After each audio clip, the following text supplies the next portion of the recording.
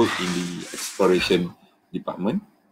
Uh, my job is actually number only one, is to go and find oil. So what you can see is that the petroleum geoscientists who work in exploration is some kind of in Indiana Jones.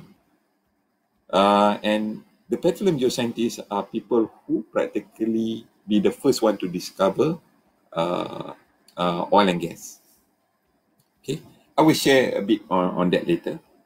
But before that, there is also another point why I believe that there is still future for E&P or oil and gas production uh, or oil industry. The simple reason because the population is going to grow in the world. So there will be growth in terms of so-called uh, population throughout the world. And the big population will want to utilize energy.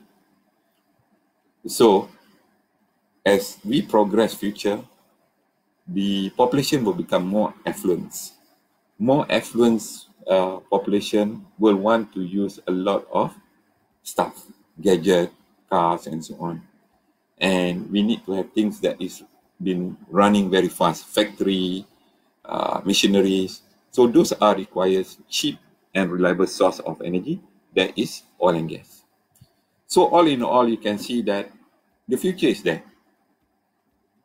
However, uh, before you plunge into taking uh, or making your decision to become uh, petroleum uh, petroleum geoscientist, or you want to pursue geology, there's a couple of things you need to consider. Number one, it's very important for you to have passion. Passion. You are curious. You are inquisitive. And you like to solve problems. And you have strong sense of imagination. Because this is the sign, like I mentioned to you, is the sign that turn theory into reality and reality must have value. I'm not sure which other job have the same similar uh, uh, kind of model like what we, we have. So all in all, uh, we are the front end of the industry to acquire data, to evaluate the data, to analyze it, to create a model, and test it by drilling a well to find the hydrocarbon. So it's very important for you to know that in order for you to collect data, analyze the data, and also to come up with a model, you must like science. You must like science and you must like to use computer because the job as a petroleum geoscientist in the front end before oil being produced you need to discover it so the petroleum geoscientists like i mentioned to you as in, those are the people who are like the indiana jones will work in two environment the people who work as petro- petroleum geoscientists love to be outdoor then they have to work indoor and they have to work again outdoor so it's very important for you to have this combination of being outdoor and also indoor. Uh, so this is very important for you. You must be indoor person. You must be a very outdoor person. You must love science, and you must must like to use computer. Now, so with this thing, uh, there's a couple of uh, position you need to work before you find your hydrocarbon. And the position of the petroleum geoscientists also change after we find the hydrocarbon. Okay, the people who find the hydrocarbon, we call it the exploration geoscientists. So the exploration geoscientists, they consist of several units. Number one, we have people who practically study uh, particular large area. For example, like in Malaysia, uh, in offshore Terengganu, offshore Sarawak, offshore Sabah, who do a very big study, what we call it a basin study.